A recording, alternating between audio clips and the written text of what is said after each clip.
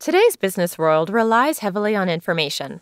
Whether you work in a large, established company or a smaller startup, it's likely that communicating with others is a big part of the job.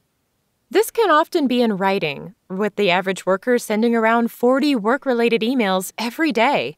With so much information to send in notes, emails, letters, and reports, a lack of writing skills can have a huge impact on your career. No matter what you're writing and who it's for, you need to be sure you're sending your readers high quality documents that say exactly what you mean. But how can you improve your skills? And what's the difference between writing for your colleagues and your customers?